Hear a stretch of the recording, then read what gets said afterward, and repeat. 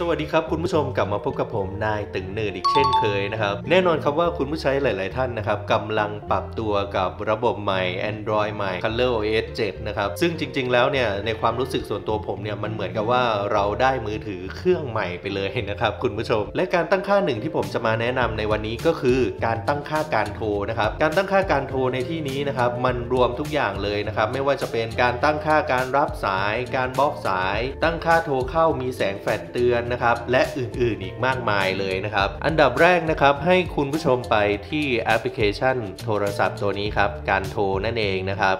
เข้าไปเลยครับปึ๊บ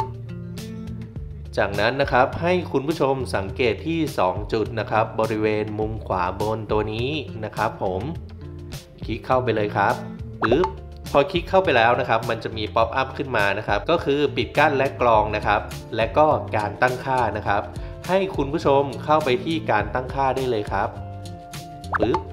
พอเราเข้ามาแล้วนะครับ ในนี้ก็จะเป็นการตั้งค่าการโทรทั้งหมดเลยครับ คุณผู้ชมจะรวมอยู่ในฟังก์ชันนี้เลยครับผม โดยจะแบ่งย่อยๆ ประมาณ 4 หัวข้อนะครับ ก็คือหัวข้อแรกเนี่ย ระบบช่วยต่อหมายเลขขณะ roaming นะครับ ตรงนี้ระบบมันจะเปิดให้อัตโนมัติอยู่แล้วนะครับ คุณผู้ชมไม่ต้องเข้าไปตั้งค่าอะไรก็ได้นะครับ เรามาดูในส่วนที่ 2 กันดีกว่าครับคุณผู้ชมก็คือการตั้งค่าของสายเรียกเข้านะครับ หัวข้อแรกก็คือจะเป็นการตั้งกฎนั่นเองนะครับ ลองเข้าไปดูเลยครับปึ๊บ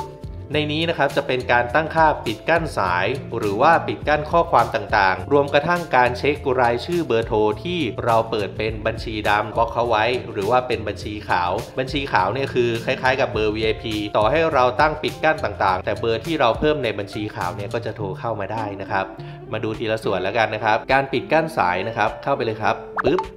ในที่นี้ก็จะมีการตั้งค่าหลาย ๆ แบบด้วยกันครับคุณผู้ชม จะเลือกไม่รับสายทั้งหมดนะครับ หรือว่าเลือกปิดกั้นเบอร์ที่ไม่รู้จัก อย่างตรงนี้ผมเปิดไว้คือเบอร์ไหนที่ผมไม่ได้เมมไว้ เขาก็จะโทรเข้าไม่ได้นะครับผม ต่อมาก็จะเป็นการปิดกั้นสายเรียกเข้าที่ดังเพียงครั้งเดียวนะครับ ประมาณว่าถ้าเบอร์ที่เราไม่ได้เมมไว้นะครับ โทรมาครั้งแรกเนี่ยมันจะไม่ติด โทรมาครั้งที่สองเนี่ยเขาถึงจะโทรติดอะไรประมาณนั้น ก็คือถ้าสำคัญจริง ๆ ก็โทรซ้ำมาแล้วกันนะครับ อันสุดท้ายก็คือปิดกั้นสายเรียกเข้าจากหมายเลขที่ซ่อนไว้นะครับ ก็คือเบอร์ที่เราตั้งซ่อนไว้ มันจะโทรเข้าไม่ได้ โดยรวมประมาณนี้ครับสำหรับการปิดกั้นสายนะครับผมกลับออกมานะครับ ต่อมาก็จะเป็นหัวข้อปิดกั้นข้อความครับ ซึ่งหัวข้อนี้ผมไม่อยากให้คุณผู้ชมไปตั้งค่าปิดอะไรมานะครับ เพราะว่าเดี๋ยวจะมีปัญหาในส่วนของข้อความเกี่ยวกับระบบแจ้งรหัส หรือว่าแจ้งเตือนยอดเงิน ตัดผ่านบัญชีอะไรต่างๆเนี่ยเดี๋ยวมันจะส่งเข้ามาไม่ได้นะครับ เพราะฉะนั้นไม่ต้องยุ่งกับมันดีกว่านะครับมาเพิ่มเติมอีกนิดนึงในหัวข้อการโทรก็คือบัญชีดำนั่นเองครับ เข้าไปดูเลยครับ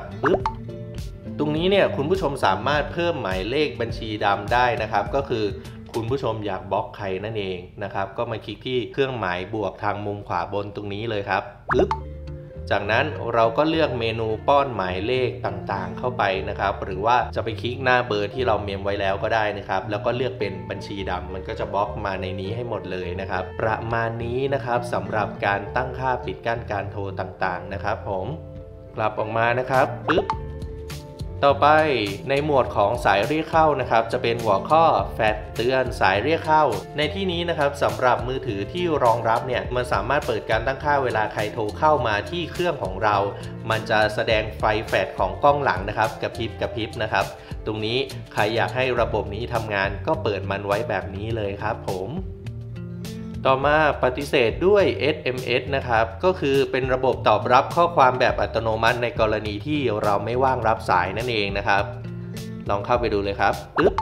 ก็จะมีการตอบรับหลาย ๆ แบบด้วยกันนะครับ ซึ่งคุณผู้ชมสามารถเข้ามาตั้งค่าหรือว่าแก้ไขข้อความในนี้ได้นะครับผม โอเคครับ ต่อไปก็จะเป็นเมนูสุดท้ายของหมวดสายเรียกเข้านั่นเอง ก็คือการรับสายอัตโนมัตินะครับ ลองเข้าไปดูนะครับปึ๊บในที่นี้นะครับเราสามารถตั้งค่าได้ว่า เราจะรับสายอัตโนมัติเมื่อเราเชื่อมต่ออุปกรณ์บลูทูธนะครับอย่างเช่น หูฟังบลูทูธลำโพงบลูทูธอะไรประมาณนี้ ถ้าคุณผู้ชมต้องการให้มันรับอัตโนมัติ ขณะเชื่อมต่ออุปกรณ์เหล่านี้นะครับเราก็สามารถเปิดตรงนี้ได้เลยครับผม กลับออกมานะครับปึ๊บ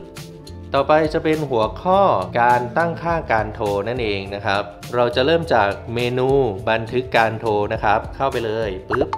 ในที่นี้นะครับคุณผู้ชมสามารถตั้งค่าบันทึกเสียงขณะสนทนานะครับไม่ว่าเราจะโทรออกหรือว่ามีใครโทรเข้าได้นะครับ ถ้าคุณผู้ชมต้องการตั้งค่าบันทึกทุกสายเลยเนี่ยก็ให้มาเปิดฟังก์ชันนี้แบบผมนะครับก็คือใครโทรมาหาผมเนี่ยผมจะบันทึกทุกสายเลย ทุกข้อความเสียงเลยนะครับต่อมาจะเป็นการตั้งค่าการบันทึกสูงสุดนะครับ ตัวนี้ลองเข้าไปดูครับปึ๊บ ตรงนี้เนี่ยคุณผู้ชมสามารถกำหนดได้ว่าจะบันทึกกี่คู่สายนะครับ อย่างผมเนี่ยตั้งไว้ไม่จำกัดเลย พอเราเลือกเสร็จแล้วนะครับ เราก็มากดบันทึกตรงมุมขวาบนตรงนี้นะครับปึ๊บหัวข้อสุดท้ายของหมวดบันทึกการโทรนะครับ ก็คือดูการอ่านบันทึกการโทรทั้งหมดนะครับ ซึ่งเราสามารถเข้าไปฟังเสียงบันทึกการโทรทั้งหมดของเราได้ที่นี่เลยนะครับ หรือว่าจะเข้าผ่านแอปพลิเคชันบันทึกเสียงบนหน้าจอหลักก็ได้นะครับ ผม กลับออกมานะครับสำหรับหมดบันทึกการโทรนะครับ ต่อมาจะเป็นเมนูสั่นเมื่อรับหรือวางสายนะครับ อันนี้ก็เข้าใจง่าย ๆ เลย ทุกครั้งที่เรารับสายหรือวางสายให้เครื่องมันสั่นนั่นเองนะครับง่าย ๆนะครับ ต่อมาก็จะเป็นเมนูใช้ปุ่มเปิดปิดเครื่องในการวางสายนะครับ ถ้าเราเปิดฟังก์ชันนี้ไว้ เวลาเราจะวางสายเราก็กดปุ่ม power ได้เลยปุ๊บมันก็จะเป็นการวางสายแบบง่าย ๆ นั่นเองนะครับ ผมต่อมาครับจะเป็นเมนูสุดท้ายนะครับสำหรับการตั้งค่าโทรศัพท์ของเรานะครับก็คือการตั้งค่าการโทรผ่านผู้ให้บริการนะครับ ลองเข้าไปดูเลยครับปึ๊บในที่นี้เนี่ยจะเป็นการตั้งค่าเกี่ยวกับเครือข่ายนั่นเองนะครับ ไม่ว่าจะเป็นการระงับสายหรือว่าโอนสายนะครับ แล้วก็ในส่วนของการรับสายเรียกซ้อน เราก็เข้ามาที่การตั้งค่าเพิ่มเติมได้เลยปึ๊บแล้วก็เลือกเบอร์ที่เราต้องการรับสายเรียกซ้อนนะครับปึ๊บ รอสักครู่นะครับผมตรงนี้เราก็มาเปิดรับสายเรียกซ้อนได้เลย เวลาเราโทรคุยกับใครอยู่ ใครโทรเข้ามาอีกสายหนึ่งเป็นสายที่ 3 เนี่ย มันก็จะแจ้งเตือนเราได้นะครับ ถ้าเราปิดตรงนี้นะครับ ในขณะที่เราคุยอยู่กับผู้สนทนา คนอื่นก็จะโทรเข้ามาซ้อนไม่ได้เลยนะครับ ลองเข้ามาตั้งค่ากันดูนะครับผม และนี่ก็เป็นการตั้งค่าการโทรแบบง่ายๆนะครับสำหรับระบบ Color OS 7.0 ณ ปัจจุบันตอนนี้นี่เองนะครับ คุณผู้ชมก็ลองนำไปตั้งค่ากันดูนะครับ และสำหรับวันนี้คงจบเพียงเท่านี้นะครับ ไว้พบกันใหม่คลิปหน้าลากันไปก่อน สวัสดีครับ